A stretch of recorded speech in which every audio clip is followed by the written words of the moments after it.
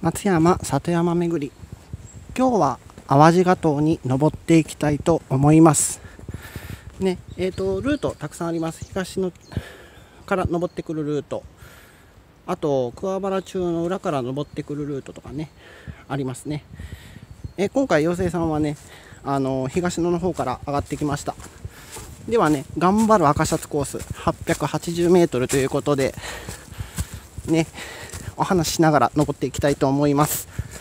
この淡路ヶ島ね伊藤博文ともゆかりがあるそうです。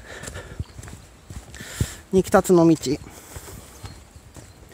淡路ヶ島とね旗寺交差点のところに火が立っています、まあ、二北つの道というとね三つから道後まで続いているルートなんですけれどもまあその手前船からやってきてね。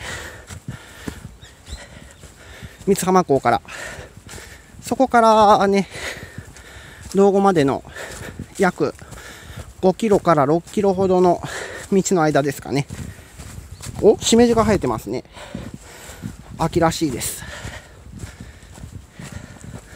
ねえーとまあ、お話に夢中になっててもね空いた自然のものもね楽しめるんでね下も見ながらね楽しんでいきたいと思います。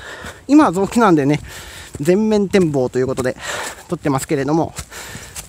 で伊藤博文公はねまあ言わずと知れた明治を生きた総理大臣ですけれども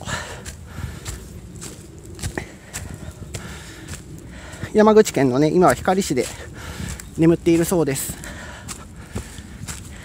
でそこから松山にやってきた際まず三釜ね梅神寺あたりに立ち寄ったと言われております。でそこで秋山兄弟とかとお話ししてね今ではね秋山義来実行の像の近くのところにも伊藤博文関係のね火が立っているところがあります。でそこから約ね6キロほど二北つの道。まあ今のおそらく海岸通り。まあ大川って言った方が分かりやすいですかね。海岸通りがね正式な地名ですけれども。そこから町の方に上がってきますね。六軒野町とか本町5丁目あたり。そこから木屋町高砂経由。で道後に至るというね道がございます。まあ今はね松山大学の前までは平日は松山大学の前までしか車は通れませんが、土日休日になると、車もね、通れます。で、喋りながら登ってるんでね、息切れ切れしてるのは、申し訳ないということで。ということでね、まずは第一展望点まで来ました。ここまでかなりハイテンポですね。ここから、淡路とあと670メートル。こっからもね、松山市内綺麗に見えるんですよ。ね。この景色見ながらね、行くのが気持ちいいんですよ。ね。松山城から、あのフライブルクのね、姉妹都市提携結んだところがありますけれども。で、総合公園までね、見えております。天山とか南の方ね、見えてます。で、桑中浦というのは、そこの下の学校ですね。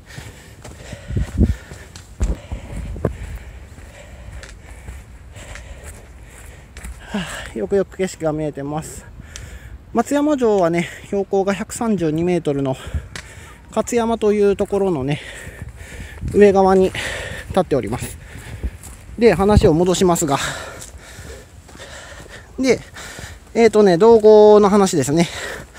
で、その伊藤博文さんは、道後温泉にね、来浴したそうなんですよね。その際に淡路島が目に入ったそうですそれでああ最後はこういうところがいいなみたいなことを言ってね言ってくれたそうで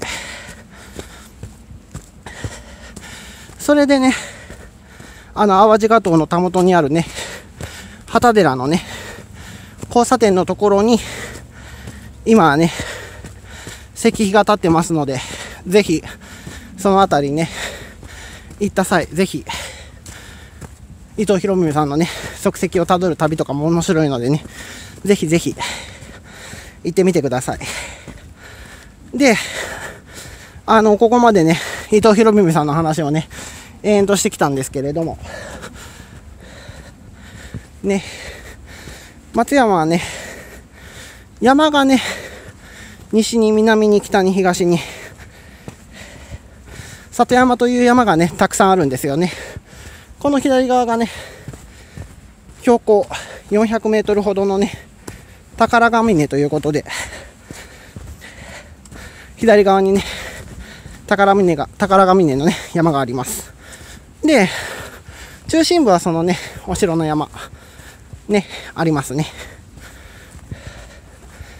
で、この今回登っている淡路ヶ島ですけれども、夜景がとっても綺麗なんですよね。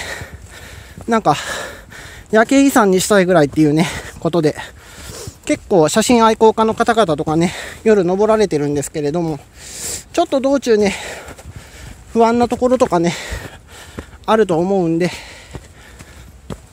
まあ夜行かれる際にはね、まあ安全用品、ライトとかね、こんにちは。鈴とかね、持って行ってみてください。で、今登っているところは粘土質の層なのでね、雨天時とか滑りやすいと思うんでね、気をつけてくださいね。で、あの、妖精さんのペースで登るとね、松山城の時にも再三言いましたけどもね、膝言わすので、無理せず、自分のペースで上がっていってください。喋りながらね、こんな息切らしながら、一体何分分のね、山を登るんだっていうようなね、感じの運動量になります。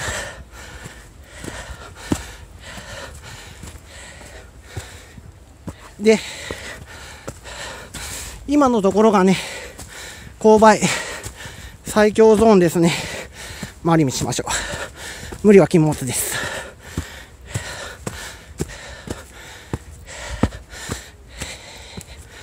で、この淡路ヶ島、何回か登りました。東野からね、分かりやすいルートで言うと、石手寺から説明します。51番札所。はあ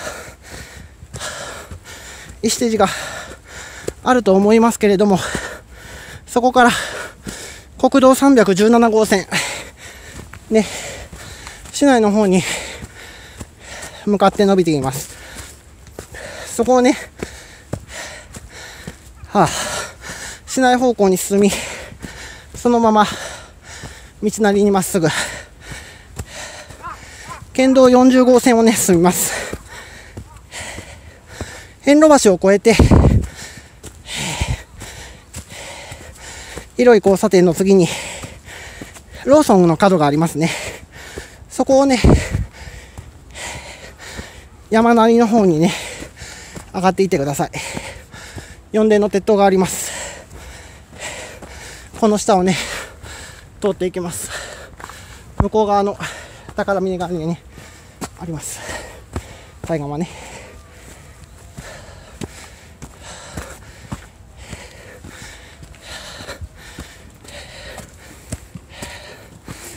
ゃあ。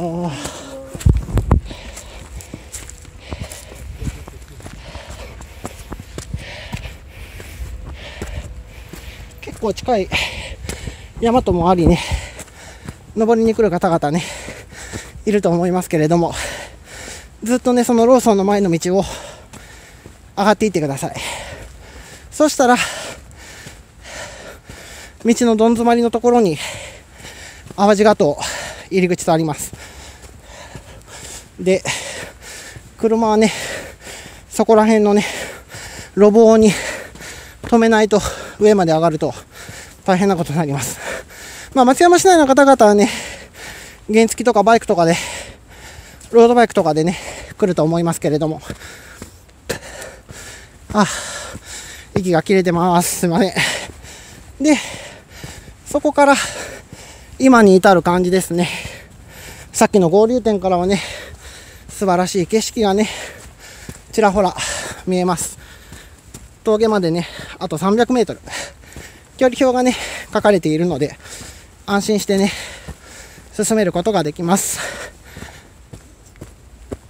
でするとでさっきの登山経路の説明だとそのままね頑張る赤シャツコース妖精さんが通ってきたルートをねたどることとなります。で200メートル歩くと素晴らしい景色にたどり着くということになります。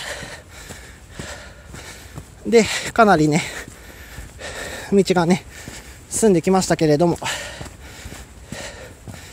あ5月はね尺投げとかね綺麗ですね。山ツツジとかね。いろいろねさっきもありましたけれどもキノコとかねそういったものもね楽しめるのがね山のね醍醐味ですね。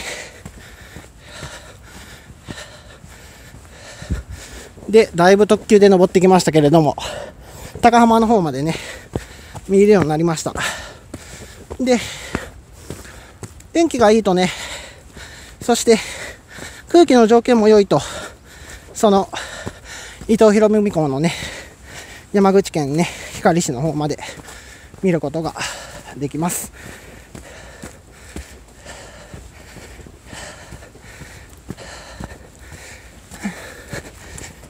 こんにちは。おはようございます。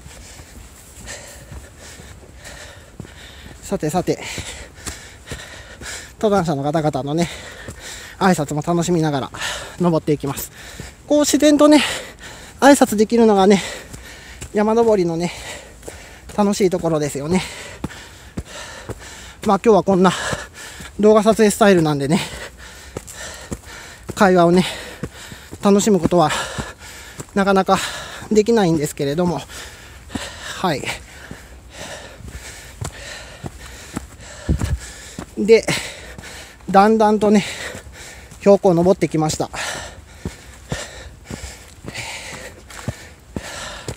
ここでも十分ね楽しめます。でもね上に行くとね素晴らしいね展望台が用意されています。息を飲むね風景でした最初は。今でもね感動を覚えるくらいですけれども。ああ。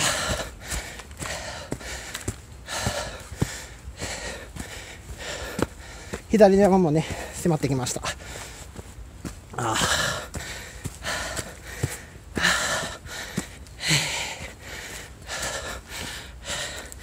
変な ASMR の動画になってたらごめんなさいね。何なんだこの妖精さんの息遣いみたいなね。感じで。撮っちゃってますけれども。直撮りなんでお許しください。さてぼちぼちね淡路ヶ島ね近づいてきました、はあ、まさかねこんなね最速でね登ってくるような山ではね、はあ、ないんですけれども、はあ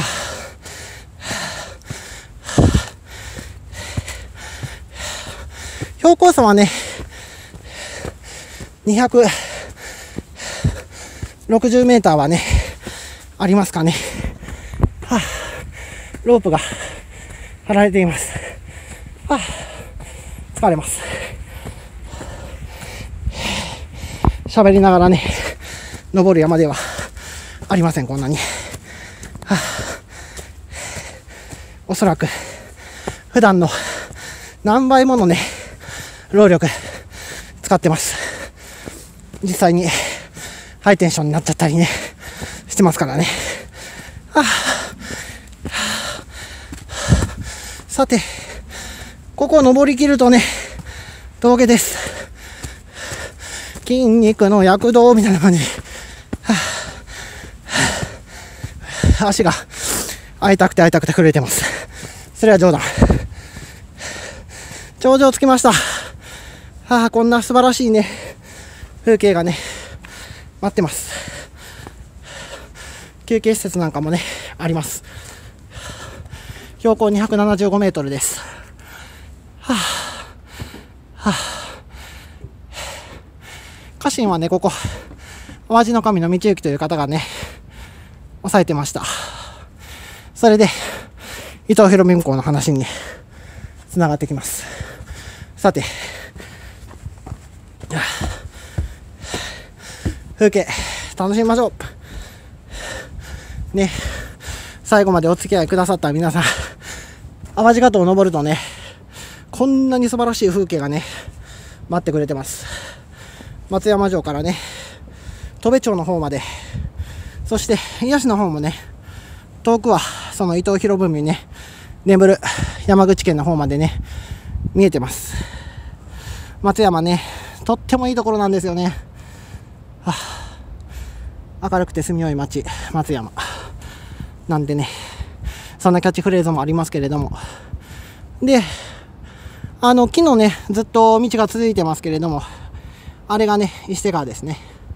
で、その先に坊ちゃんスタジアムがあって、重信川と合流して、最後、瀬戸内海に注ぎ込みます。